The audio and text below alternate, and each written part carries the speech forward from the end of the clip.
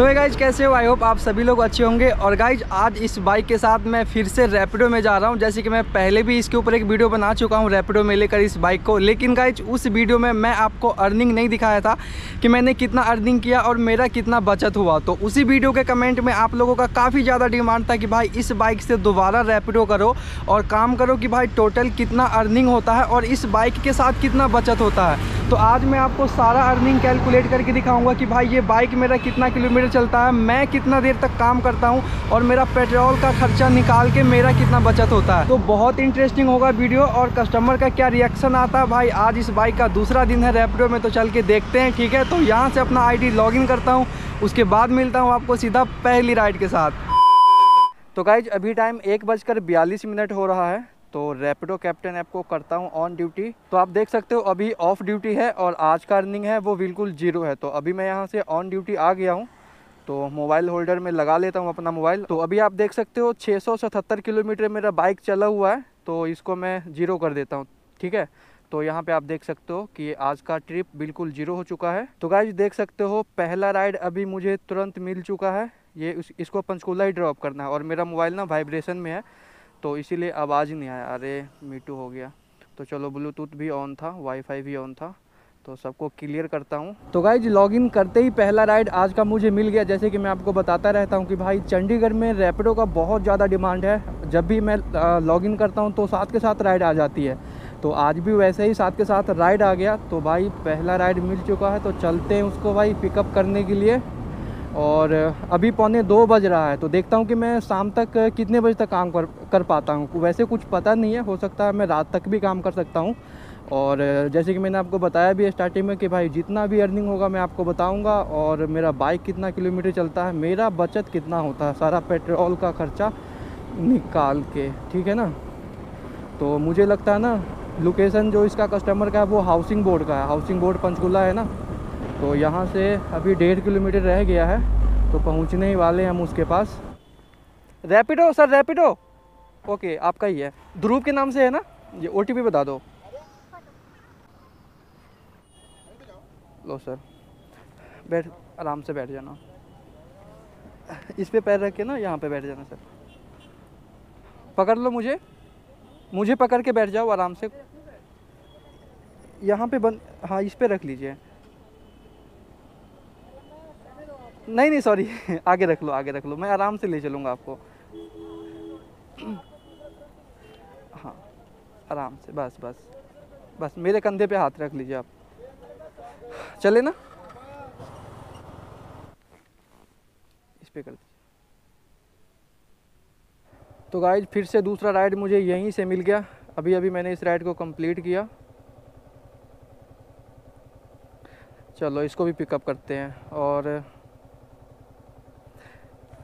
इसका भी 1.8 kilometre pickup है। तो भाई, पहला राइड कंप्लीट कर दिया। और भाई, इस भैया को ना बैठने में यार थोड़ा सा दिक्कत हो रहा था तो इसने मुझे मना कर दिया था कि रहने दो। मैं दूसरा राइड वो कर लूँगा तो फिर यार फिर मैंने रिक्वेस्ट किया तो फिर उन्होंने आ, मतलब जहाँ पर मैं पैर रख रहा हूँ ना मतलब वहीं पर पैर रख के चढ़ा। थोड़ा मोटा था ना तो इस वजह से दिक्कत हो गई थी। तो यार मतलब पीछे जो बैठता है ना पीछे वाला बंदा तो उसको जो उसका जो पैर रखने वाला जो जगह है ना भाई उसका काफ़ी हाइट है। क्योंकि मैं खुद अपने बाइक पे पीछे बैठता हूँ तो यार मुझे भी मतलब ज़्यादा हाइट लगता है। तो भाई जब मुझे ज़्यादा हाइट लगता है तो भाई दूसरों को क्यों नहीं लगेगा? तो इसीलिए यार चलो कोई नहीं अब पहला राइड तो कंप्लीट कर दिया। तो दूसरा को भी चलते हैं पिकअप करने। मैं कोशिश करूँगा कि भाई कोई भी कस्टमर मुझे गलत फीडबैक ना दे नहीं तो भाई मेरा रैपिडो का आईडी जो है ना कंपनी सस्पेंड कर देगा क्योंकि रैपिडो के आईडी में आ, मेरा पुराना वाला बाइक अटैच है और इस बाइक को तो मैं ऐसे ले आया हूँ क्योंकि इसका भी आर नहीं आया है। तो अगर कस्टमर ने मुझे गलत फीडबैक दिया कि डिफरेंस बाइक लेकर आया था तो भाई कंपनी छोड़ेगा नहीं मुझे ब्लॉक कर देगा सीधा। हेलमेट पे कर देता हूँ आपको आप स्कैनर दिखा दो मुझे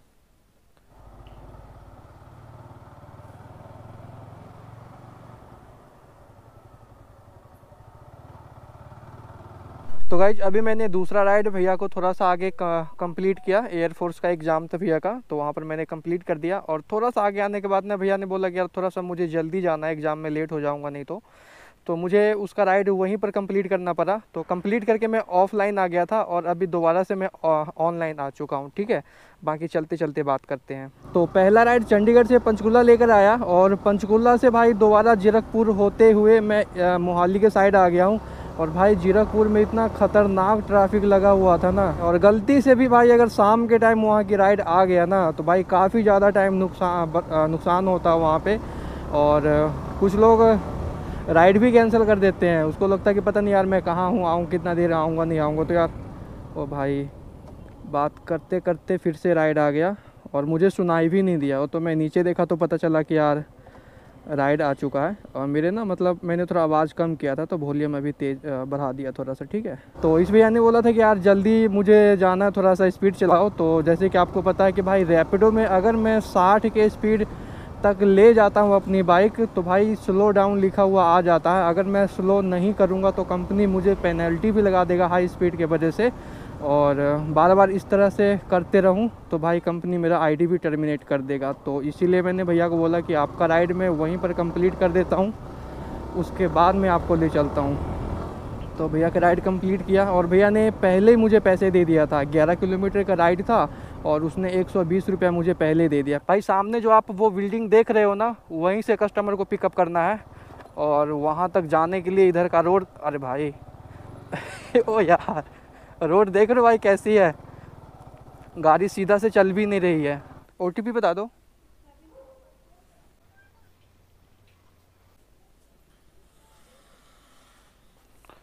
भाई ये तीन किलोमीटर का राइड है। अच्छा जाएँगे नहीं? दीजिए। तो भाई इस राइड की जगह मुझे पार्सल मिला है, ठीक है? तो ये लंच बॉक्स है, वही उसको देना है। और भाई अभी हाथ में लटका कर ले जाना पड़ रहा है इसको क्योंकि बैग तो मैं लाया नहीं हूँ। और बैग लाऊँगा तो भाई काम भी नहीं होगा क्योंकि पीछे बैठने वाले को दिक्कत होगा तो इसीलिए नहीं लाया। एट नाइन टू फोर ना? हाँ। बाइक चेंज है। Six one six eight An hour later. तो गाइज़ मैं अभी आया था भाई 43 बस स्टैंड जो कि ये बैक साइड है। तो यहाँ पर मैंने अभी उस राइड को कंप्लीट किया।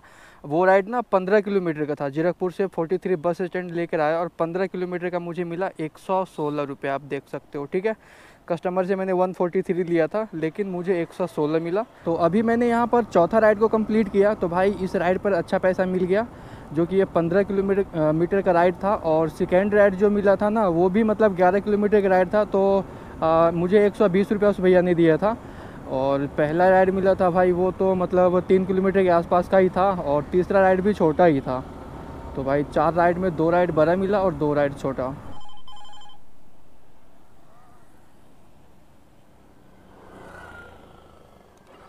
और भाई अभी जो राइड आया ना इसका बहुत कम डिस्टेंस है यार। 350 मीटर है एक मिनट दिखा रहा है मुझे। ऐसे ऐसा पिकअप मिले ना तब तो भाई मज़ा भी आता। बाइक ज़्यादा चलता भी नहीं है। हाँ ठीक है थैंक यू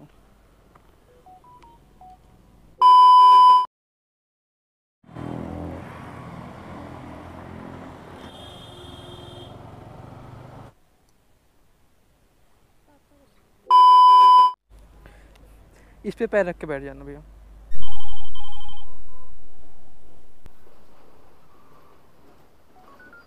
तो भाई अभी जिसको मैं पिकअप करने के लिए आया ना तो यहाँ पर पहुँच गया तो उसने गलत लोकेशन डाल दिया था, ठीक है? तो फिर मैंने कॉल पे बात किया तो उसने कैंसिल करने के लिए बोला था तो मैंने बोला हाँ कि कर दो। फिर मतलब बात हुई कि लोकेशन वो मुझे भेजेगा, लेकिन यार उसने लोकेशन भेजा नहीं, उसके बदले में उसने राइड ही कैंसिल कर दिया। मैं यहीं पर अभी वेट कर रहा था और यार अभी मुझे मात्र चार रुपया कैंसिलेशन चार्ज मिला यार। उस दिन तो बारह रुपया मिला था आज पता नहीं चार रुपया क्यों मिला। लगता उस दिन चार रुपया ज़्यादा दे दिया था, इसलिए आज चार रुपया काट लिया, है ना? भाई, रैपिडो में ज़्यादा वेट नहीं करना पड़ रहा है यार अभी तो और वो भी शाम का टाइम हो गया। अब तो भाई बैक टू बैक राइड आते रहेगा। टाइम में भी भाई पाँच बजकर छः मिनट हो रहा है। रमन के नाम से है ना? ओ बता दो आप। हेलमेट पहन लो। तो? क्या चीज़? नहीं यार, इसको मैं ले कैसे जाऊँगा? दिक्कत तो ये है ना। मेरे पास ये बांधने के लिए नहीं है ना, इसलिए कैंसिल करना पड़ जाएगा। नहीं तो आपको जाना पड़ेगा। तो अभी इसने बोला कि कैंसिल कर देता हूँ राइट ये ऑर्डर कैंसिल नहीं हो रहा है तो अब मैं क्या करता हूँ भाई? उससे भी नहीं कैंसिल हो रहा है और मेरे से भी नहीं हो रहा। तो ऐसा करता हूँ ना ओटीपी तो इसका डाल ही लिया हूँ। थोड़ा सा आगे जाता हूँ यहाँ से और राइट को कंप्लीट कर देता हूँ, ठीक है? वैसे मेरा वॉलेट माइनस में चल मतलब जो मेरा वॉलेट से कुछ पैसा मतलब कट जाएगा। कमीशन, अभी देखना। अगर कोई सामान वामान भेजना है तो यार, रेपडो की जगह तो पोर्टर बुक करना चाहिए, क्योंकि पोर्टर वाले के पास भाई उसको पता है कि मुझे सामान ही पार्सल करना है तो पोर्टर वाला जो भी होता है भाई, वो अपना सारा सामान लेकर चलता है कि मुझे सामान पार्सल करना है। तो भाई, अभी मैं थोड़ा दूर तो आगे आ गया हूँ। चलो ये लाइट क्रॉस कर लेता हूँ, उसके बाद करता हूँ उसको कंप्लीट।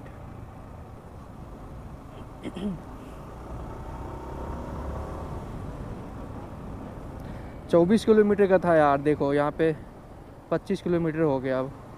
भाई राइड तो बहुत अच्छा था यार, लंबा राइड था, चौबीस किलोमीटर था यार 200 के आसपास तो अर्निंग होता।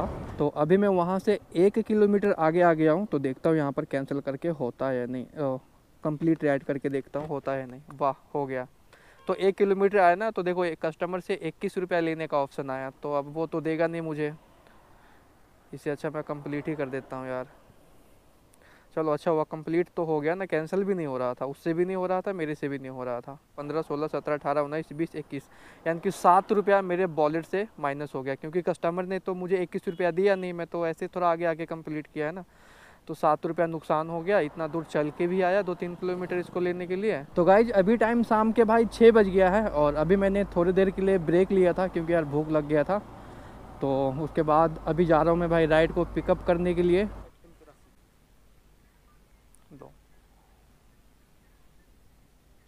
और टाइम अभी नौ बजकर छः मिनट हो गया है। तो गाइज़ अभी टाइम आप देख सकते हो भाई दस बजकर चार मिनट हो गया है। तो अब मैं आपको अर्निंग दिखा देता हूँ। पहले आ, मैं स्क्रीन रिकॉर्डिंग ऑन कर लेता हूँ ताकि आपको प्रॉपर दिखाई दे ठीक है?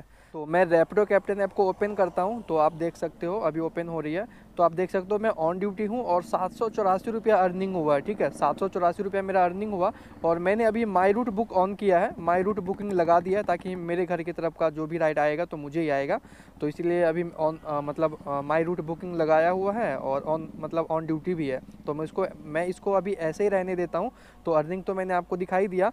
तो अब मैं आपको दिखाता हूँ कि मेरा बाइक कितना किलोमीटर चला। तो आप देख सकते हो एक किलोमीटर है, एक सौ तैंतीस किलोमीटर मेरा बाइक चला। बाकी आपको चलते चलते बताता हूँ, ठीक है? तो गाइज़ मैंने दोपहर में पौने दो बजे लॉग इन किया था, दो बजे समझ लो, और दो बजे से लेके रात के दस बजे तक मैंने काम किया तो टोटल आठ घंटा हो गया मुझे काम करते हुए, और आठ घंटे की जो अर्निंग हुआ वो सात सौ चौरासी रुपया। तो अर्निंग तो मैंने आपको बता ही दिया कि भाई आठ घंटे में सात सौ चौरासी रुपया मोटा मोटी आप आठ सौ रुपया ही समझ लो। तो भाई, इस हिसाब से देखा जाए तो भाई, पर घंटे मतलब सौ रुपया अर्निंग होता है हर घंटे में एक सौ रुपया अर्निंग होता है। मतलब आज हुआ, बाकी सभी डेली का अर्निंग एक जैसा नहीं होता, कभी कम, कभी ज़्यादा इस तरह से अर्निंग होता रहता है। और मेरा बाइक भाई 133 किलोमीटर चला। और वैसे तो अभी मैं खाली खाली जा रहा हूँ, यहाँ से दस बारह किलोमीटर है। तो बुकिंग आ गई तो ठीक है, नहीं तो दस बारह मतलब ऐसे समझ लो ना कि भाई डेढ़ सौ मोटा मोटी आप डेढ़ सौ ही समझ लो यार। तो मतलब डेढ़ सौ किलोमीटर मेरा बाइक चल गया आज, घर जाते जाते ठीक है? घर जाते जाते तक डेढ़ सौ किलोमीटर हो जाएगा। तो भाई आप समझ ही सकते हो यार कि कितना पेट्रोल खर्चा हुआ होगा, आपका बाइक कितना एवरेज देता है। वैसे जब मैंने इसका एवरेज चेक किया था ना तो 53 किलोमीटर दिखा रहा था। आप 50 किलोमीटर ही मान लो आपको विश्वास नहीं होगा कि ये बाइक भाई 50 किलोमीटर एवरेज दे सकता है क्या? माइलेज दे सकता है क्या? तो इसीलिए मैं आपको बोल रहा हूँ भाई, मेरे चैनल पर वीडियो अपलोड है, मैंने इसका माइलेज टेस्ट किया तो उस वीडियो को आप देख सकते हो और उसके बाद आप अंदर उसके बाद आप समझ सकते हो कि भाई ये बाइक कितना माइलेज देता है। तो मैंने आपको बता दिया कि भाई ये बाइक 50 प्लस तिरपन किलो तिरपन किलोमीटर माइलेज दिया था, आप 50 ही समझ लो। तो 50 किलोमीटर एवरेज के हिसाब से तो भाई तीन सौ का तो मेरा पेट्रोल ही खर्चा हो गया। तो आठ सौ में आप तीन सौ माइनस कर दो तो पाँच सौ रुपया बच गया। यानी कि भाई, आठ घंटा में पेट्रोल निकालने के बाद मेरा पाँच सौ रुपया बचत हुआ। R one five V four bike के साथ। आप लोगों का काफ़ी ज़्यादा डिमांड डिमांड था कि भाई इस बाइक के साथ आप अर्निंग करो और अर्निंग हमें दिखाओ और सब कुछ बताओ कि भाई कितना किलोमीटर बाइक चला और कितना पेट्रोल खर्चा हुआ। और भाई आज जितना टिप्स मुझे मिला ना, इतना टिप्स पहले कभी नहीं मिला था, क्योंकि भाई पहले मेरे पास वही पुरानी वाली बाइक थी। और आज इस बाइक को लेकर आया हूँ ना तो मैं लगभग आपको अंदाज़ा से बताता हूँ कि भाई डेढ़ सौ के आसपास मतलब मुझे टिप्स मिला।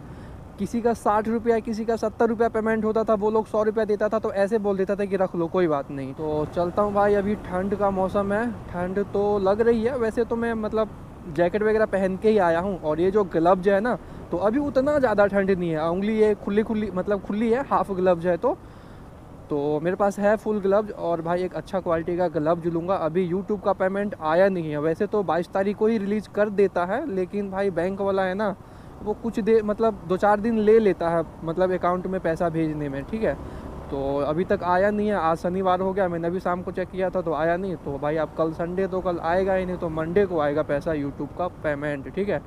तो जैसे भाई यूट्यूब का पेमेंट आएगा तो पहले तो भाई बाइक पर लिमिनेशन करवाना है, क्योंकि यार मुझे बहुत डर लगता है वाइट कलर है, और ऐसा ही चमकती है, ज़रा सा भी स्क्रेच आ गया ना तो भाई मतलब बहुत ही बेकार लगता है। और लेमिनेशन के साथ भाई थोड़ा बाइक में कुछ मोडिफाइड भी करेंगे ताकि देखने में थोड़ा सा अच्छा लगे। और पिछले वीडियो में जैसे कि आप सभी ने कमेंट किया था कि भाई इस टॉपिक पे वीडियो बनाओ, उस टॉपिक पे वीडियो बनाओ तो भाई ज़रूर बनाऊँगा।